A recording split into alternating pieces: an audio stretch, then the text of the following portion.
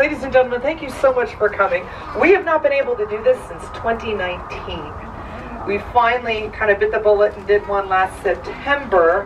Didn't have refreshments. It was great to see folks.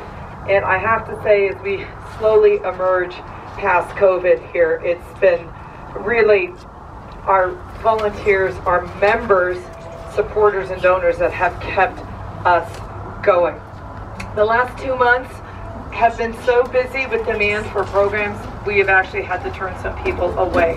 As I was explaining to somebody, I think the schools were waiting for the COVID and school class situation to stabilize, and then suddenly everybody went, it's April, it's Earth Day, we need birds. and since we, there's only one of me, I wish there were about four of me, because one of them would be permanently sleeping. The other one would be driving the van. Anyway, I would like to ask how many folks have never been here before? Wow, I love that. Thank you so much for coming. How many of you found out about us or saw Kevin and I at the Longmont Senior Center? Thank you for making the trip down here, you guys. You have been wonderful. That was a great program to do.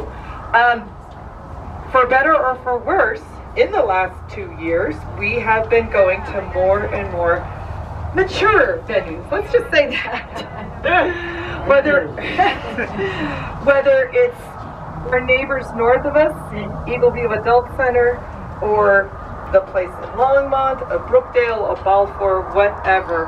These are some of my very favorite programs to do and they're always better behaved than a room full of first graders. So, since I'm closer to the grand, Merlin's very excited. Nicely done, Karen.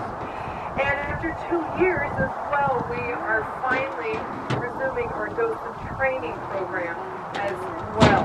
Um, the good news about our docent training program is I really, really think it is one of the best in the nation. Certainly, hands down, one of the best in the state. I, uh, I, I demand a lot from my folks, and it's 18 hours of college level material. And we are very, very careful with how you learn